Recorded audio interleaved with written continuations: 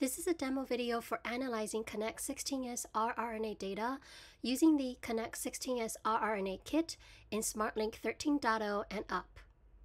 The input to the first workflow are HiFi CCS BAM files that's usually generated on instrument and has been demultiplexed of the barcoded Kinnex adapters. All Kinnex kits come with four barcoded Kinnex adapter sets and during run design, which I've shown in the other video, you can choose which barcodes you've used.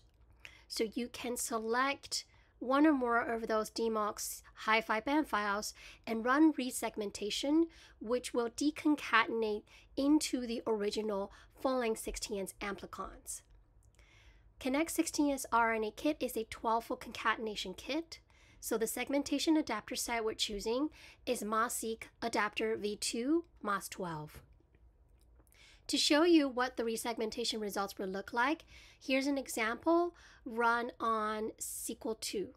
So we generated 2.3 million HiFi reads, and after read segmentation, we obtained 27.4 million segmented reads or S reads, where the mean read length is the essentially the full length 16S molecule length of 1.5 and this being a 12 fold concatenation kit you can see the percent of full arrays and the concatenation factor signals that it's uh, a successful full array 12 fold library now, after you've generated the uh, segmented S reads, the next, set, next step is to demultiplex by the samples by the 16S amplicons. So if you follow the Kinnex 16S protocol, you have generated multiplexed 16S amplicons using forward and reverse primer pairs. To demultiplex them, we have to then take the segmented S reads and run it through demultiplex barcodes, which is another data utility.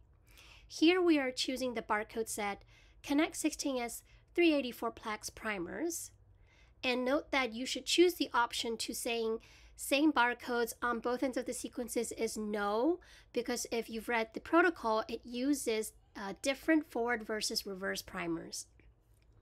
You can either choose to assign the biosamples interactively, as you can see here, or you can select from file, which you can then download in autofill barcoded sample file, fill in the required information, and then upload it. Let me show you what this looks like on a test 96plex run. This is the result of that same read segmentation uh, running through demultiplex barcodes. So I had uploaded 96 barcode pairs, and you can see that the majority of the reads, 98.14% of them, actually successfully demultiplex based on their forward and reverse primers. If we then go look at the barcode data, let me just expand this a little bit. You can see that we've achieved pretty equal pooling of all of the 96 plex samples. So from here, you can then go download the individual per sample full-length 16S molecules and then analyze them using 16S pipelines such as those that we've provided on GitHub or your own custom pipeline. Thank you for watching this demo video.